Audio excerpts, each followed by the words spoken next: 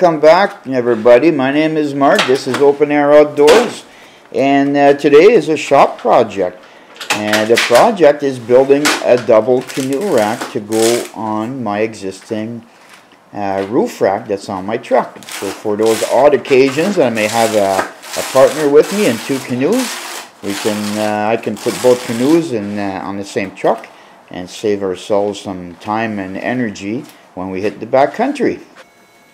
So first off, let's get a few things together. Coffee, book, pen or pencil. Got to write down our measurements. We're going to do some layout and now I need some stuff for that. So here we are, going to climb up on the truck bed and you can see the roof rack up there. I'm going to go get set up and take an initial look and uh, kind of figure out how I'm going to do this.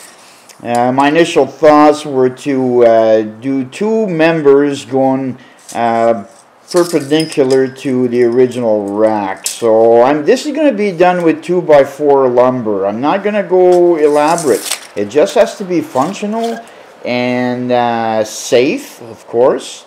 So uh, you'll see as we get along here with the video how things are going to turn out. So initially, let's get some measurements going on here. So I'm going to measure across because I have to make my crossers long enough for two canoes, but I have to shim it up. So I want to build a rack that's going to fit kind of like inside the original rack, if that makes any sense. Well, it will make sense as we get closer uh, into the build. So, of course, more measurements, always more measurements. Okay, let's uh, let's stop it here and move a little bit fast forward.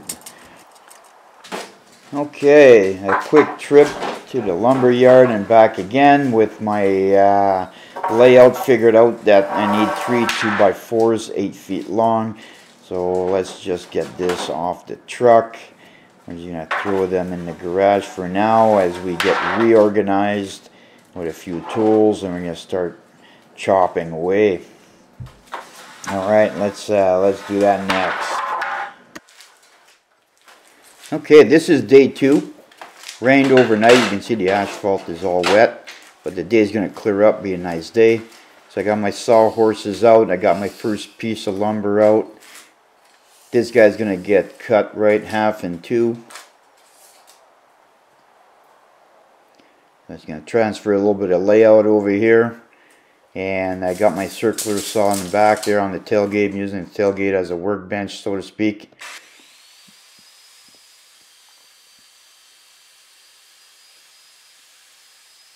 Boom. And it's on. Okay let's move over to the uh, next step of the process. Okay and now I'm breaking out some uh, sliding C-clamp vice grips. What I'm going to do here is I'm going to clamp both my 2x4 members together because they will have uh, grooves cut into them and they're both going to be identical. So we'll uh, kind of kill two birds with one stone, so to speak. That way I can transfer all my measurements, two pieces all at the same time. So let's, uh, now it's time to do some layout as I figure out where the hell I am here. There's my small square. I go upstairs and do one final quick check. And I'm happy with what I found and what I got. So I'm going to transfer my measurements over.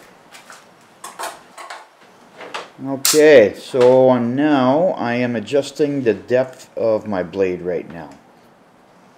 I'm looking for a quarter inch in depth uh, for the grooves that I'm going to be cutting into these 2x4s. And these grooves are for the 2x4s to sit. I want them to sit naturally into the crossbar of the existing rack on the truck.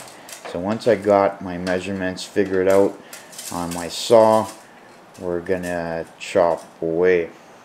So let's jump right into that. Alright, first order of business, hearing protection.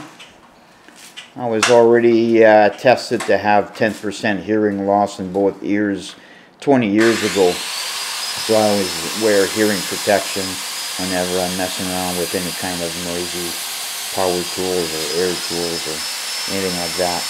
So you see here I'm uh, putting in a couple of slices into my 2x4s that are uh, clamped together.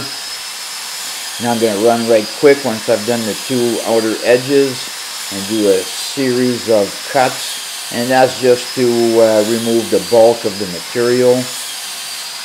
I'm going to complete this and then I'm going to go over to the opposite end where my layout is already done and I'm going to duplicate what you see here on the other side.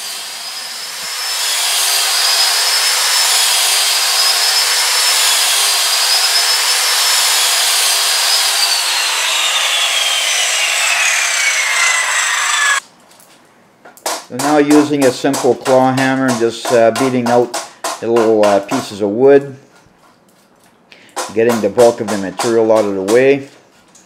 And then you see in my hand that I'm holding a chisel.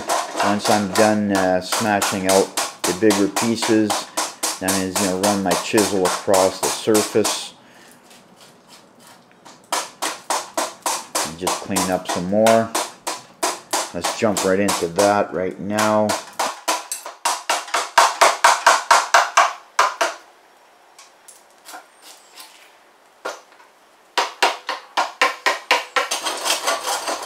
Okay, I'm going to finish up here with a block plane. I'm going to smoothen things out.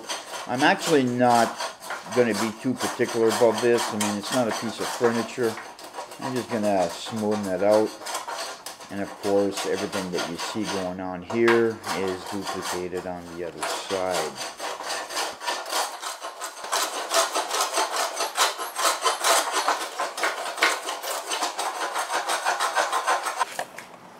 Okay, let's uh, let me bring in for a closer look so you can see exactly what it is that I created here. So the width that you see of these notches into these 2x4s, that is a little bit generous to the width of the crossbars on the original truck rack.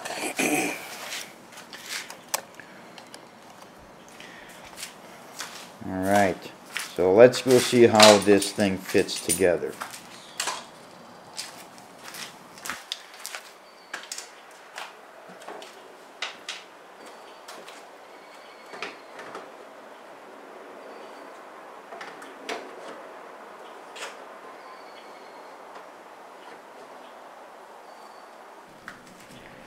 So here I have my two remaining 2x4s, 8 feet long. And I chose to go with a total width or length, I'm not sure how you would put that, but six and a half feet is the number I was I went for. That's the total width sitting on the rack. Now I went a little bit wider because well if it's too wide I could always trim the ends down. Always cut it shorter, can't cut it longer.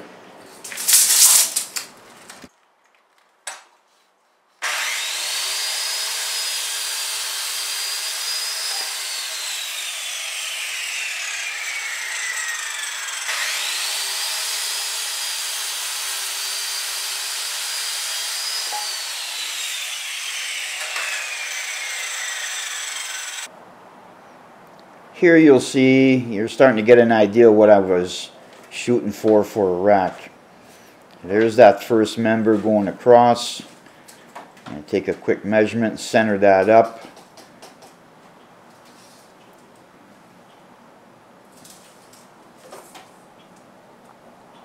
Just like that.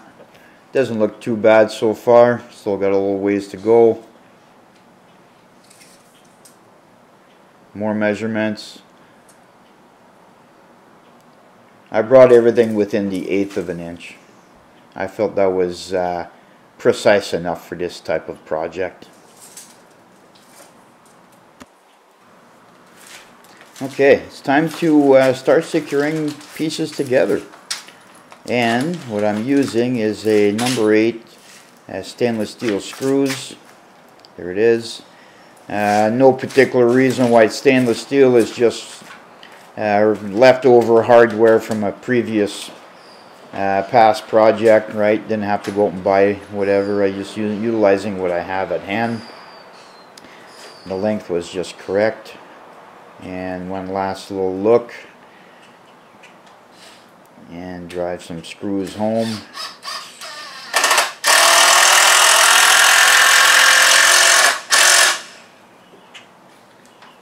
Just like that, keeping a close eye on everything, make sure nothing shifts as I'm driving in the screws. Now I still have the front one to do yet.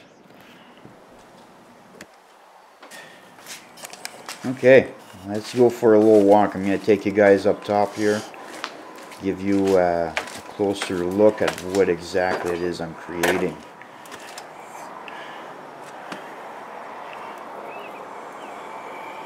There's four screws on each end is what I'm doing. So that's the rear member in position, everything looking good. Okay, now to position the front one, duplicate my measurements obviously. No biggie here. Pretty straightforward stuff. I'm lining everything up so that uh, my crossers are lined up perfectly with the crossers on the original truck rack. Now I'm giving you a little bit of a different perspective on what I'm doing. Uh, you'll notice the notching I cut with the saw. See how it uh, cradles around that crossbar? That's what I was aiming for. So now I'm screwing in uh, the front member Make sure everything is secure. Now if you look at uh, the alignment of the 2x4 with the crossbar, if you can imagine once the canoe is thrown on there, the strap that will strap the canoe onto that rack can be wrapped completely around both pieces, which in turn will connect the new rack to the old rack and will secure it together even more. Here's the other side, just a duplicate of what's going on.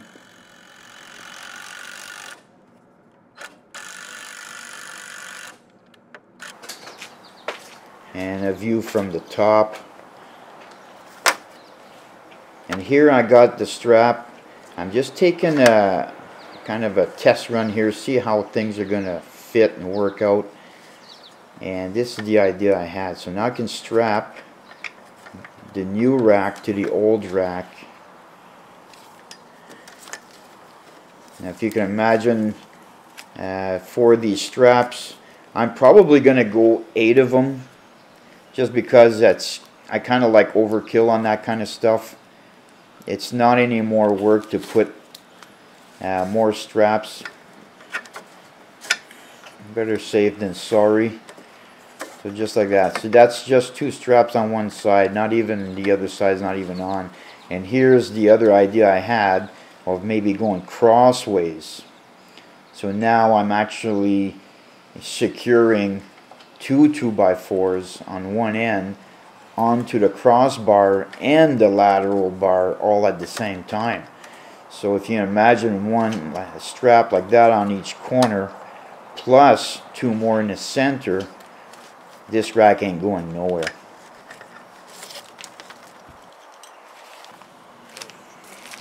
Okay, now that I'm happy with uh, the fit, now it's to uh, work on the finish. So a bit of a stretch up there again. That's that's just by the way, that's not a, a short guy problem. That's a five and a half inch lift on 33 inch rubber. So uh, no short jokes allowed here.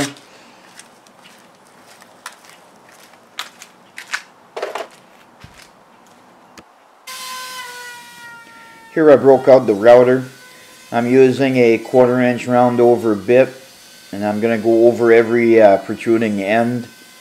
I find that uh, it's not so much for aesthetics, it actually helps prevent splintering on the end of your uh, 2x4s.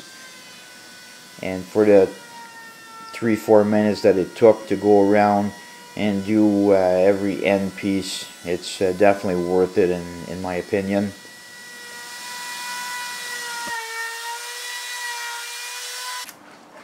Now for a little splash of paint.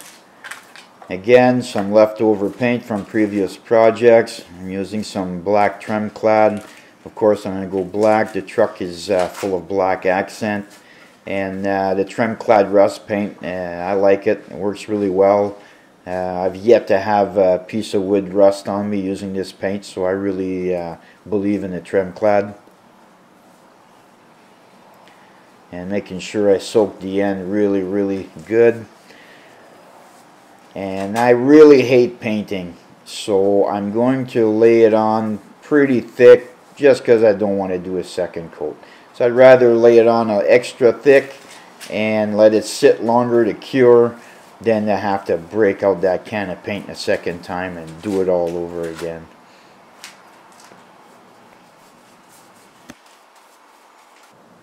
And here's the finished product all painted up. And for the remainder uh, of the video, the next four hours, you get the joy of watching paint dry. Just think of it as uh, like that burning log at Christmas time that you can tune into that TV channel, you know. Kind of like that.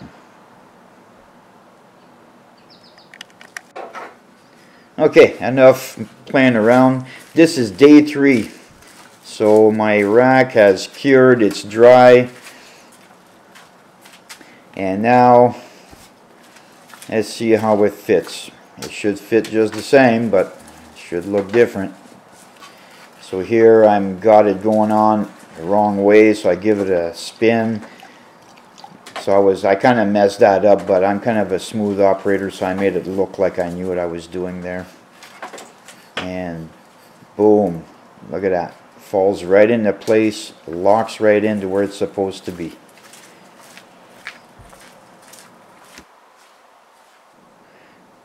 Here I'm reinstalling my straps because this is day three and this is the moment of truth. I'm going to be stacking canoes on here so Let's secure it down. And we're going to give it a test. And I'm not going to go crazy with the straps because I'm not actually going to drive down the road. And I'm just going to sit some canoes on there and see how it all uh, settles in and how it looks and how it rides and so on.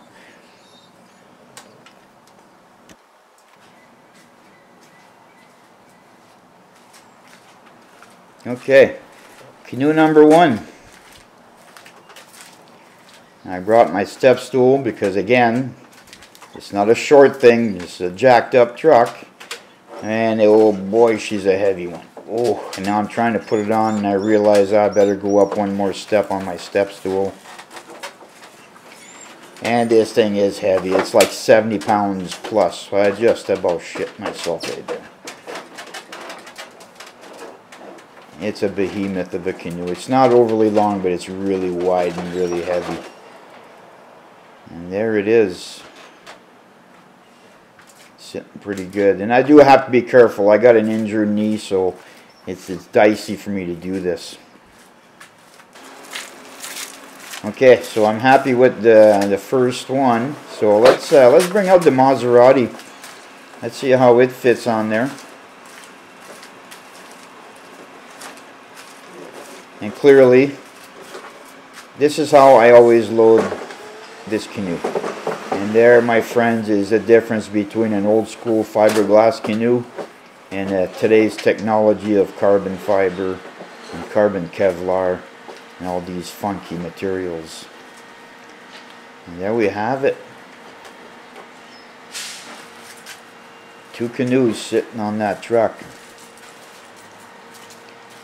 That's my initial look. I'm walking around and it looks pretty good momentarily I'll grab the camera and I'll give you guys a 360 view of how this is turning out to be like. Now I'm not going to bother uh, strapping the canoes down. Like I said, I'm not going to go down the road. I just want to see how it sits and there's how much room there is to run straps around these members. You'll see here momentarily.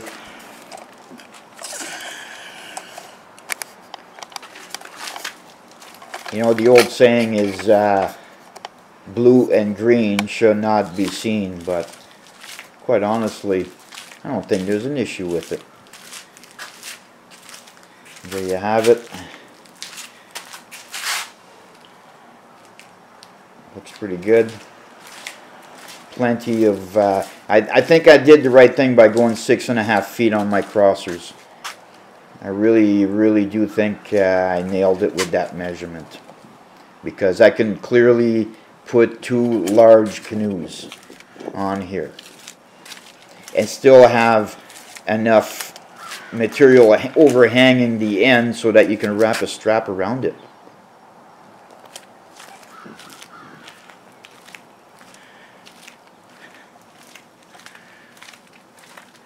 I'm happy with the outcome.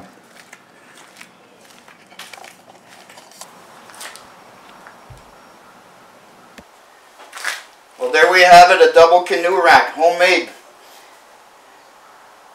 I like it. It's going to work. Thanks for coming out. See you on the next one, everybody.